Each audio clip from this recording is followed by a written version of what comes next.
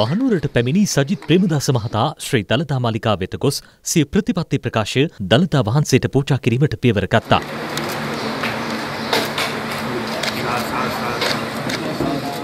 සජිත් ප්‍රේමදාස මහතාට සහය දක්වන දේශපාලන නායකයන් ඇතුළු පිරිසක් මෙම අවස්ථාවට සහභාගී වුණා. අනතුරුව සජිත් ප්‍රේමදාස මහතා දළදා මාලිකාවේදී ආගමික වතාවත්වලද නිරත වුණා. මල්වතු මහවිහාරය වෙත ගිය විපක්ෂ නායකවරයා එම පාර්ශවයේ මහනායක අතිපූජ්‍ය තිබ්බටුවාවේ ශ්‍රී සුමංගල ස්වාමින් වහන්සේට සී ප්‍රතිපත්ති ප්‍රකාශය පිළිකැන් පූවා. අපි අද දවසේ අපේ ප්‍රතිපත්ති ප්‍රකාශනය ගෞරවනීය මහානායක ස්වාමීන් වහන්සේලාට පිළිගන්නවා. එමෙ මාලිගාවට කියලා ආශිර්වාද ලබා යුතු සත්‍යය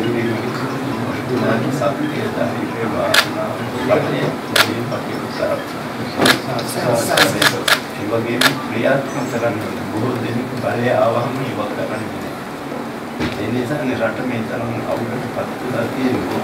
ඒවා මේ වේදිකාවලට විතර මම හිතනවා ඉෂ්ට වේවිලා හැමදාම ගරු මහානායක ස්වාමීන් වහන්සේ අපි ඉදිරිපත් කරපු අදහස් ක්‍රියාත්මක කරා. රට ගොඩනගන වැඩ පිළිවෙල ඔක්කොම අපි සඳහන් කළා. සජිත් ප්‍රේමදාස මහතා ඉන් පසුව මල්වතු පාර්ශවයේ අනුනායක පූච්ච දෙමුල් කුමරේ විමල ධම්ම අනුනාහිමියන්ද බැහැදැක ප්‍රතිපත්ති ප්‍රකාශ ඉදිරිපත් කළා. ප්‍රතිපත්ති ප්‍රකාශනය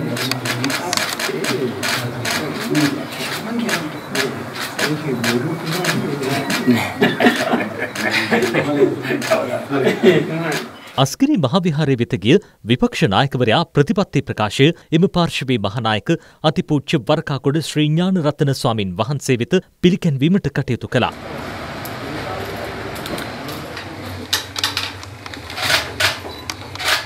සජිත් ප්‍රේමදාස මහතා අස්කිරි මහවිහාර පාර්ශවයේ අනුනායක පූච්ච වෙන්ඩරුවේ උපාලි නාහිමියන්ද බැහැදැක උන් වහන්සේගේද ආශිර්වාද ලබා ගත්තා. මාධ්‍ය වෙත අදහස් දැක්වීමටද එමහතා පියවර ගත්තා. අද දිනේ ගෞරවනීය මහානායක මාහිමිපාණන් වහන්සේලා ප්‍රමුඛ අනුනායක මාහිමිපාණන් වහන්සේලා ප්‍රමුඛ මහා සංඝරත්නය බැහැ දකිමින් ඒ වගේම දලදා හාමුදුරුව වන්දනාමාන කරමින් අපි සුබ මොහොතින් මේ ප්‍රතිපත්ති ප්‍රකාශනය වන්දනීය පූජනීය මහා සංඝරත්නයට ඉදිරිපත් කළා විශේෂයෙන්ම අපි මේ මැතිවරණ වේදිකාවල් තුළ විවිධ අවස්ථාවන් වලදී එහි අඩංගු දේවල් ඉදිරිපත් කරලා තිබෙනවා. අපි මේ වැඩපිළිවෙල තාමත්ම පිරිසිදුව සත්‍යවාදීව යථාර්ථවාදීව ප්‍රායෝගිකව. රටේ පොදු ජනතාවගේ සුභසිද්ධිය උදෙසත් මාතෘභූමියේ සුභසිද්ධිය උදෙසත් ක්‍රියාත්මක කරන්නට යෙදුණු ජනතා කේන්ද්‍රීය ජනතාවාදී මාතෘභූමිය ශක්තිමත් කරන තාමත්ම ප්‍රගතිශීලී වැඩපිළිවෙලක් විශ්වාස කරනවා. කාලවකවානු සහිතව මේ වැඩසටහන මහ පොළොවේ සත්‍යයක් යථාර්ථයක් බවට පත් කරනවා.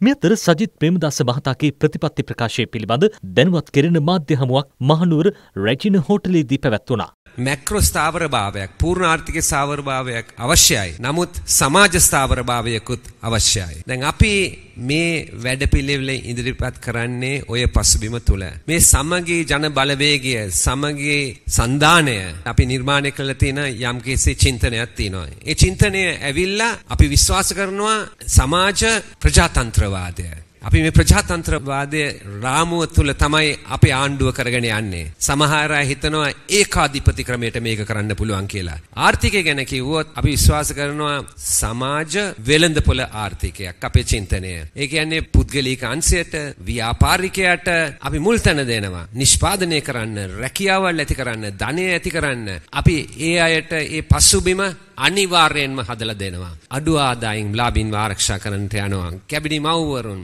දරුවන්ව අපි ආරක්ෂා කරනවා. ජ්‍යෙෂ්ඨ පුරවැසියන් අපි ආරක්ෂා කළ යුතුයි. ඉතින් අපේ චින්තනය ඇවිල්ලා සමාජ වෙළඳපොළ ආර්ථිකයක්. අද අපේ නියෝගය නිසා 4000කට ආසන්න බදු පොලුකාරයෝ කෝටියකට වැඩි බදු පොලුකාරයින්ගේ 900කගේ බැංකු ගිණුම් නවත්තලා දෙන එක අපි දීපු නියෝගයක් නිසා වෙච්ච දෙයක්. එහෙම නැතුව වෙන වෙන කාගවත් හපංකමක් නෙවෙයි. අපි නිශ්චිතවම මේ රටේ ආදායම් වියදම් ඉලෙක්ට්‍රෝ ඉලෙක්ට්‍රොනික් වේදිකාවක් මත. අර ඉන්දියාවේ තියෙනවා වගේ යුනිෆයිඩ් පේමන්ට් ඉන්ටර්ෆේස් එකක්. ලංකාවේ නම් ලංකපේ. ලෝකේ අනික් රටවල වෙනත් නම් වලින් තියෙනවා ගන්නවා. ඒ අනුව අපගේ සියලුම ගණදෙනු බුලත් පිටක් ගන්න ගියත් සිගරට්ටුවක් ගන්න ගියත් හාල් සේරුවක් ගන්න ගියත් කාර් එකක් මිලදී ගන්න ගියත් ගුවන් යානයක් මිලදී ගන්න ගියත් පිටරට යන්න ගියත් ඒක රෙකෝඩ් වෙනවා. ඒක IRD එකට යනවා. ඒ අනුව අද ජාතික ජනබලවේගයට මේවා තේරෙන්නේ නැති හින්දා දේශීය ආදාය දෙපාර්තමේන්තුවටයි රේගුවටයි 3000ක් බන්ධ ගන්න යනවා. අපිට එක සේවකයෙක්ව බන්ධ ගන්න යන්නේ අපි දියුණු මිනිස්සු හැටියට අපේ ඩිජිටල් විප්ලවයක් මගින් මේ ආදායම් වැඩි කරනවා. විප්ලවීය යෝජනා ගණනාවක් මේ ක්‍රියාන්විතයේ තියෙනවා.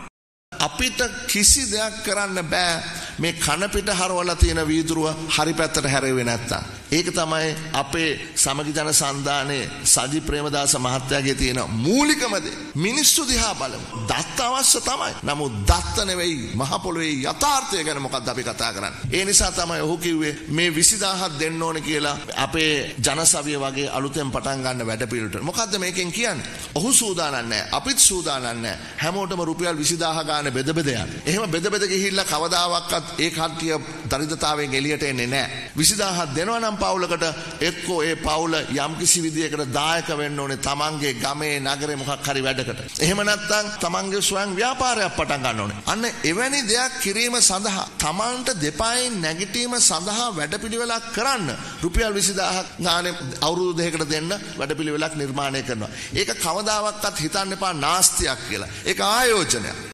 රාජ්‍ය කිසිම මැදිහත්වීමක් නැතුව පහුගේ අවුරුදු දෙක ඇතුලේ එතුමා සුහුරු පන්තිකාමරයක් ලබා දීලා තිනවා පාසල් 386කට බලයක් නැතුව රාජ්‍ය අරමුදල් නැතුව ලෝකෙට ආදර්ශයක් දුන්නා විපක්ෂ නායකයෙක් විදියට කොහොමද තමන්ගේ රටේ අනාගත પરම්පරාව වෙනුවෙන් ආයෝජනයක් කරන්න කියලා. ඊට වඩා ශක්තිමත් සාධකයක් අවශ්‍යද මේ වැඩපිළිවෙල ක්‍රියාත්මක කරනවද නැද්ද කියලා කියන එක තේරුම් ගන්න.